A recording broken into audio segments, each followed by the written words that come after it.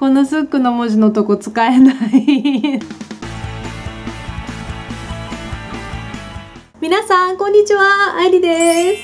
今日はですねこちらスックのアイシャドウを使って片目ずつメイクしてます。どうだろう。あのこうやってね画面で見てみると同じに見えますよね。ね私もこの画面見てると同じに見える。実際に使ってみるとやっぱりねちゃんと差がありました。あの画面ではちょっと伝わりづらいかもしれないんですけどでもよかったらご覧ください。それではスタート。はいではですねこちらが06番の酔い紅でこちらが107これやかです。こちら側とこちら側でつけてみたいと思います。今回はですねお店で推奨していただいたアイシャドウの塗り方でやっていきたいと思います。まずはですねこちら側で06番を使ってみたいと思います。なんかねこのスックの文字のとこ使えない。なんか崩せなくてこの縁側使っちゃってます。はいまずは左上の明るいカラーを眉下に塗っていきます。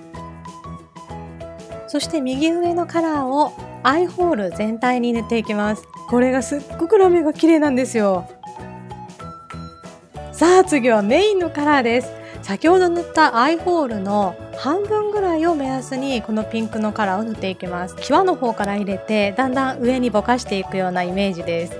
グラデーションを綺麗に見せるためにブレンディングしていきます。そして右下の締めの色ですね。ブラウンの色を目の際に入れていきます。後でまつげの間と目尻はリキッドアイライナーを入れるので描かなくて大丈夫です。今描いたブラウンを少しぼかしていきます。そして右上のカラーを下まぶたに入れていきます。で先日ドラッグストアで購入したディアップのアイライナーで目尻とあとまつげの間を埋めていきます。そして下まぶたの際にも入れていきます。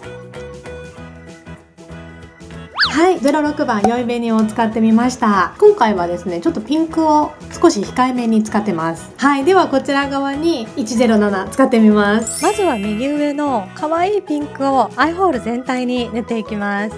そしてここでメインのカラーです赤がすごく綺麗ですよね。これも先ほどと同じように際から塗っていって上の方にぼかしていきます。スックのアイシャドウはすごくあの1本の筆で綺麗にグラデーションができるんですけれどもさらに綺麗に見せるために大きめのブラシでブレンディングしていきます。そして右下の小豆色のカラーを先ほどと同じ細い筆でアイラインのように入れていきますちょっとねなんかバッてね鼻の方に粉かかっちゃってますけど気にしないでください。そして先ほどと同じようにぼかしていきます。左上のカラーですね。こちらのベージュっぽいカラーなんですけれどもこちらは黒目の上のあたりにのせます。そうするとね目元に立体感が出るんですよね。そして右上のピンクのカラーを下まぶたに入れていきます。こちらも目尻側は太めにそして目頭に行くにつれて細めに塗っています。はいではしっかり締めていきますよ。まつげの間を埋めていってそして目尻を描きます。そして下まぶたのキワキワにもアイラインを入れていきます。はいどうでしょうか。あのこの時電源を入れ直したらちょっとね色がね変わっちゃったんですよね画面の色が。分かりづらいですね。あちょめめっちゃプルプルしてる。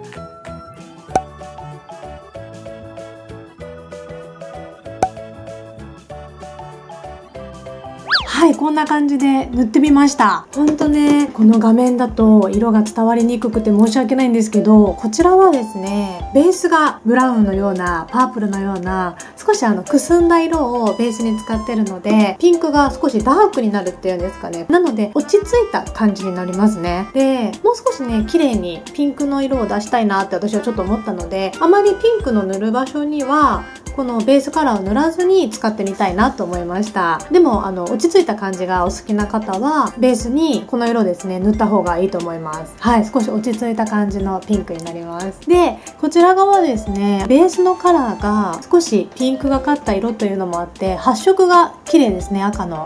でさらに黒目の上のまぶた中心にこのベージュですね。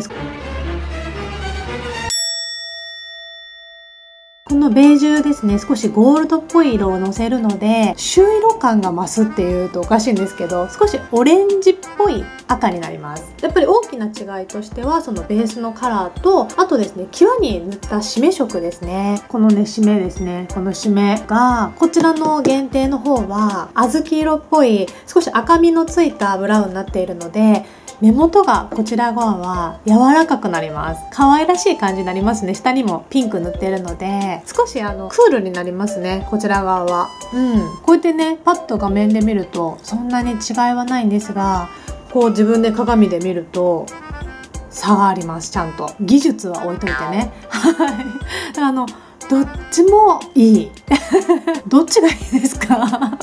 私もねちょっとわからないんですけどでその時にあのやってくださった店員さんの目元がですねすっごく綺麗でその目元に使われていたアイシャドウがこの06番だったんですよ。店員さんは縦割りにしてました。はい。なのでその縦割りの仕方も今度やってみたいなと思いました。ほんとねこのねアイシャドウいろんな使い方があるなって感じました。もうちょっとねあのピンクを濃くしたらまた違った印象になると思いますし下まぶたにあの濃いピンクだったり赤を塗ると印象が変わってきますのでまたねいろんな使い方を楽しんでみたいなと思います。はい。うまくできたら動画にします。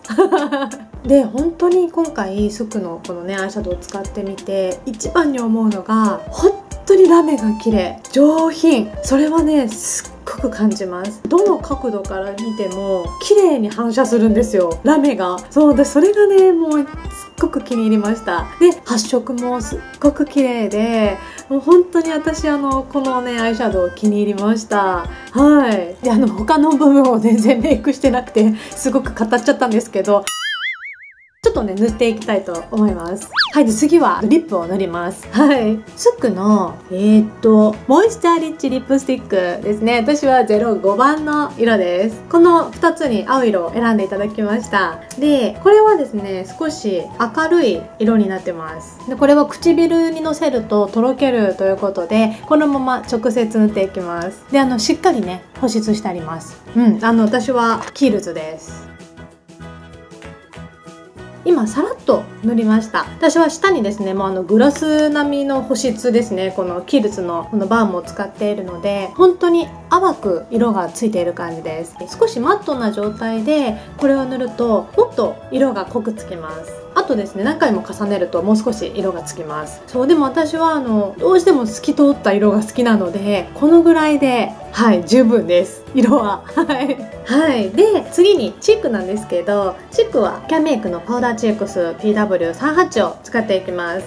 で本当にこれねすごくダークな色なんですよ。唇が少し明るめの色なのでチークはダークなカラーを選びました。でもこれをねしっかり塗ってしまうとやっぱり顔全体が暗くなってしまうので本当に本当にさらっと塗ります。その目元もねこれだけ色がついているので本当に顔色が良くなる程度本当に少し色が乗るぐらいで塗っていきます。手に取りながらふわっとのせていきます。はいこんな感じです。はいいかがでしょうか？先ほどね感想はお伝えした通りなんですけれども私はね本当にねこのスックのアイシャドウお気に入りになりました。でまだまだこれからも使い方をねいろいろ研究して楽しんでいきたいなと思います。で私はですねリップにあまり深めの色を使ったりしないのでちょっとね空き感っていうとやっぱり足りないかなと思います。ただ自分に似合ったメイクをするのが私はもうすごく大事だと思ってるので顔がねパッと明るくなるような色を使いながらこれからも、まあ、微妙ですけどちょっと赤を使ってみたりとかのあの秋メイクを楽しんでいきたいと思います。とはいえですね深めの色のリップを使ったメイクもやっていけたらなとは思ってます。皆さんにねジャッジしてもらう感じでチャレンジはしていきたいなと思ってます。はいということで今日はスクの新作のこの2つのアイシャドウとこのリップを使ったメイクをしてみました。少しでも参考になったら嬉しいです。今日もご覧いただきありがとうございました。もしよければチャンネル登録をお願いします。それでは次の動画でお会いしましょう。またね。